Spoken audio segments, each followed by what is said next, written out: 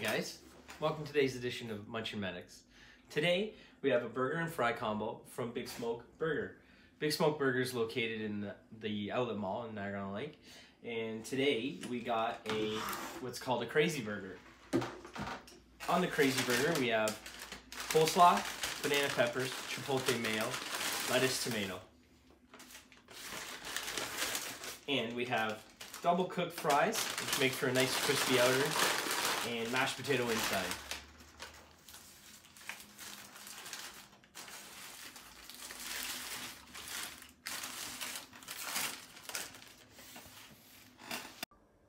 So we got 100% all beef patty cooked to a medium rare. We have a whole wheat bun too. You have choice of whole wheat or white. Um, the price was just over $15 and I think that's pretty comparable to what you'll get at McDonald's nowadays. Um, so let's dig in and see how it is. Hamburger, cheeseburger, Big Mac, Whopper. Hamburger, cheeseburger, Big Mac, Whopper. Yeah. Big Mac, Whopper. Big Mac, Whopper. Hamburger, cheeseburger, Big Mac, Whopper. Hamburger, cheese. So, first impression's really good. Uh, right off the hop, you get a, a mingling of all the flavors. Uh, you got the juiciness of the patty, you got the crunch of the coleslaw, uh, you got the heat of the banana peppers, and the tanginess of the barbecue sauce.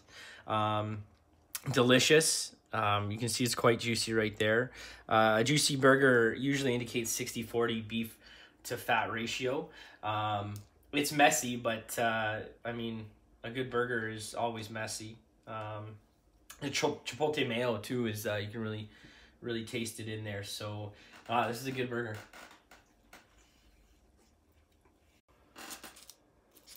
so i want to try these fries here uh, they look delicious um, looks like they got some sort of blend of seasoning salt on here so